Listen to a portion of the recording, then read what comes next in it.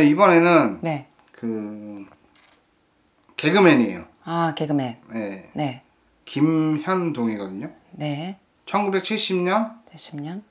10월 3일이요.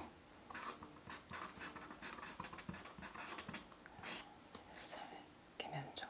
남자. 아, 이 사람은 네.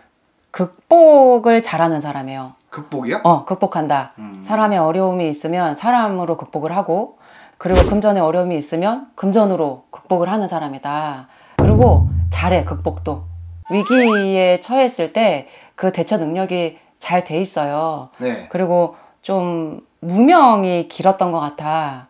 무명을 뒤, 그러니까 그 극복을 잘하는 사람이라 무명이 오래 돼 있으면 그 무명도 잘 극복했어. 어, 자기 나름대로. 나름대로 극복해서 어, 세상을 빛을 보는 사람인 거죠. 아, 이분 그 염, 이 노후는 괜찮아요, 이 사람이. 노후도 괜찮고, 네, 노후도 괜찮아요. 괜찮아요. 이 사람은 오롯이 자수성가하는 사람 같아.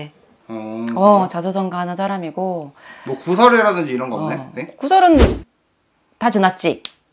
아 구설은 지났다. 어, 지났고, 어려움도 다 지났지. 근데 음. 이 사람이 지금 53세지. 네. 60 전에 한번 자식으로 인해 좀 어려움이 생기지 않을까? 근심이 생기지 않을까? 그건 좀 염려스러워요. 어. 자손으로 인한 좀 근심은 좀 안겠다. 60 전에. 음. 다른 거는 문제가 없고요. 다른 거? 어, 이 사람 다 극복하고 온 사람이에요. 아 그래요? 사람도 다 극복하고 왔고, 금전도 다 극복하고 왔고, 어려운 시기를 잘 극복하고 온 사람이라서, 잘 이겨낸 사람이라서, 어, 괜찮을 것 같아요. 괜찮겠어요. 형 미래 괜찮다. 향후 미래는 자손의 근심만 없으면 괜찮다. 음. 음, 결혼이라든지 이런 거는요. 결혼? 아, 실패할 수 있는 사람이라서, 네.